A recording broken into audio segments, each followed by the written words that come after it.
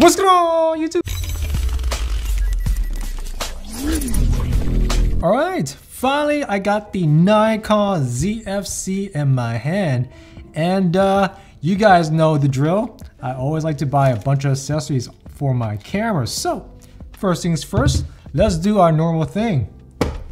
Let's do the screen protector. Now, let me pop this open.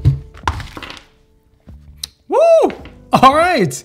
So for this screen protector, I'm getting level meter right there in the wipes. How many do I get? Three, right? Yes. Now, a lot of you guys always ask me this question, why do you wear gloves?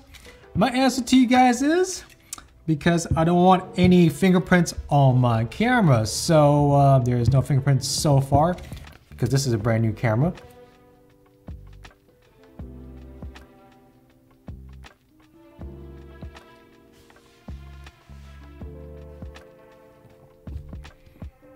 And there you go. The screen protector just applies itself. So that is pretty cool. Now the next item I have on my list is a thumb grip. Now here is the thumb grip for the Nikon ZFC and as you can see it has the leather accent on the back as well so you put it on the hot shoe. Alright so here's the thumb grip and let me say this is a lot more grippy than without it so this is a pretty nice add-on but I do feel like I'm missing something at the bottom because this camera is kind of small so I do have another grip. All right, all right. Here we go, here we go. All right, so as you can see, I can screw this grip at the bottom and still get access to my battery. So that is pretty good. Okay, good. I still get my cables on the side, so that is awesome right there. All right, look at that. I have the thumb grip and the grip in the front. And let me say, there is more grip on this camera now because I put two grips. So get a grip. So for the next accessory is a normal power bank. I think everyone has one of these lying around. Basically, the reason why is because Nikon, they will reject your third party batteries they will reject it. They want only Nikon batteries in this camera. And I know there are some third-party batteries out there recommending for this camera and the Nikon Z50. And let me just put it this way. All Nikon needs to do is make a firmware update and your battery might be obsolete. So just to be on the safe side, definitely pick up a power bank or if you want, you could buy yourself a Nikon battery, which is always out of stock I kind of noticed. So there you go. Now the next accessory I think everyone went out to buy is a adapter for the Nikon ZFC because it looks like a classic camera. So, and uh, let me put this Nikon 50 millimeter on the camera. And let me show you guys the field of view, one moment. All right, now that I'm zoomed in, as you can see, this is the field of view.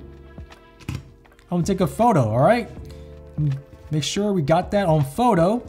Now, I'm gonna show you a cool adapter that will blow your mind away. Basically, this is the Zhong Yi adapter, which will allow you to convert this lens to this camera into full frame. So let me show you guys. Woo, look at that. All right, I'm gonna take the same shot again. And guess what? Full frame, APS-C. So this will definitely make your lens into a full frame field of view image, but also with these type of lenses right here, these uh, autofocus lenses, one moment, let me show you guys. Now with the autofocus lens, check this out. That is crazy, that is nuts. Look, I'm adjusting the uh, focus right now and you could adjust the aperture. That is cool. That means if you're like a film shooter, you want an alternative, this just might be your alternative. You want that full frame field of view on your APS-C ZFC, which is a classic looking camera. And also another adapter I want to show you guys is the Megadap adapter. This is nice. I love this adapter right here. I mean, look at this. This is crazy. Let me put my figure right there in the middle. And if you guys can see, I'm already having autofocus, eye tracking, Nuts. That is mental. And look how small this thing is. This is so small. This is like, I could just carry this around. now last but not least, the last accessory that I will always recommend you guys is getting Peak Design. So one moment, let me plug this in. Boom.